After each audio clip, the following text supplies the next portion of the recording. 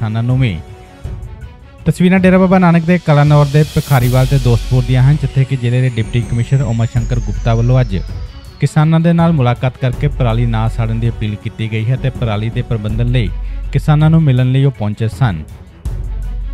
ਉਹਨਾਂ ਇਸ ਮੌਕੇ ਖੁਦ ਟਰੈਕਟਰ ਤੇ ਬੈਠ ਕੇ ਖੇਤ ਵਿੱਚ ਬੇਲਰ ਰਾਹੀਂ ਪਰਾਲੀ ਦੀਆਂ ਗੱਠਾਂ ਵੀ ਬਣਵਾਈਆਂ।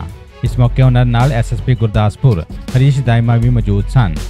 ਇਸ ਮੌਕੇ ਗੱਲਬਾਤ ਕਰਦੇ ਡਿਪਟੀ ਕਮਿਸ਼ਨਰ ਨੇ ਕਿਹਾ ਕਿ ਖੁਦ ਅਤੇ ਐਸਐਸਪੀ ਗੁਰਦਾਸਪੁਰ ਵੱਲੋਂ ਪਿੰਡਾਂ ਵਿੱਚ ਜਾ ਕੇ ਕਿਸਾਨਾਂ ਨੂੰ ਮਿਲ ਕੇ ਪਰਾਲੀ ਨਾ ਸਾੜਨ ਦੀ ਅਪੀਲ ਕਰ ਰਹੇ ਹਨ। ਇਸ ਮੌਕੇ ਡਿਪਟੀ ਕਮਿਸ਼ਨਰ ਵੱਲੋਂ ਕਿਸਾਨ ਰਾਜਵਿੰਦਰ ਸਿੰਘ ਵਾਸੀ ਸ਼ਹੂਰ ਦੇ ਖੇਤ ਵਿੱਚ ਬੇਲਰ ਰਾਹੀਂ ਪਰਾਲੀ ਦੀਆਂ ਗੱਠਾਂ ਬਣਵਾਈਆਂ ਤੇ ਕਿਹਾ ਕਿ ਜ਼ਿਲ੍ਹਾ ਪ੍ਰਸ਼ਾਸਨ ਵੱਲੋਂ ਪਰਾਲੀ ਦੀ ਸੰਭਾਲ ਲਈ ਕਰੀਬ 5000 ਖੇਤੀ ਮਸ਼ੀਨਰੀ ਉਪਲਬਧ ਕਰਵਾਈ ਗਈ ਹੈ।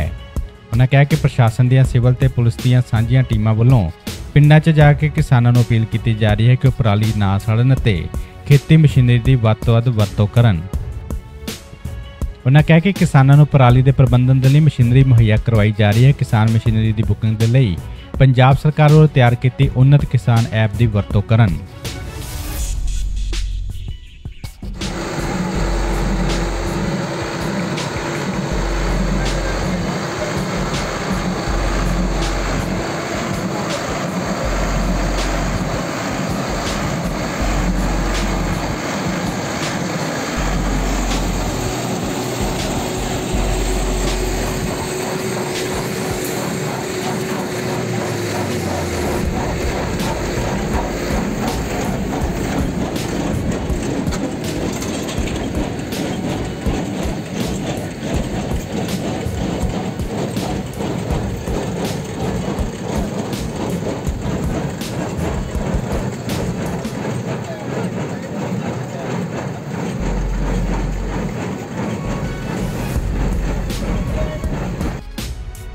ਇਸ ਮੌਕੇ ਉਹਨਾਂ ਦੇ ਨਾਲ ਹੋਰ ਵੀ ਕਈ ਪ੍ਰਸ਼ਾਸਨਿਕ ਅਧਿਕਾਰੀ ਮੌਜੂਦ ਸਨ।